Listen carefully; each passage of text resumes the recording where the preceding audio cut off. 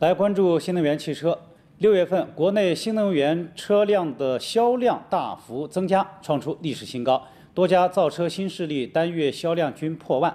在旺盛的消费需求下，车企们交车却犯了难，交付周期显著拉长。来看记者的调查。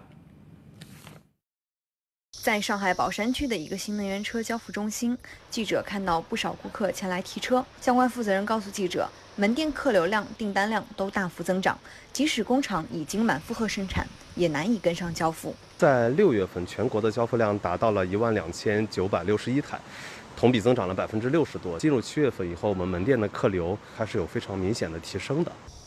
消费者们蜂拥而至下订单，可是提车却没那么简单。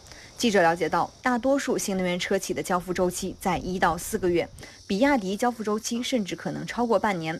不少消费者反映，自己手里攥着四五个新能源车品牌的订单，哪个给排产就买哪个。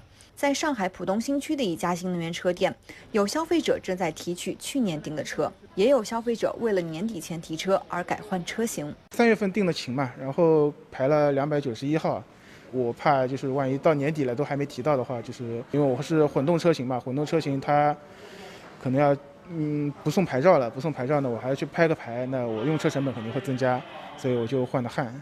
该店负责人告诉记者，近期每天都有大量顾客到店，加上前期疫情影响，订单积压，工厂交付远远跟不上订单增长的速度。今年上半年已经累积了将近两千台未交付的订单在手上，呃，目前正常的交付节奏是每个月大概有两百台左右。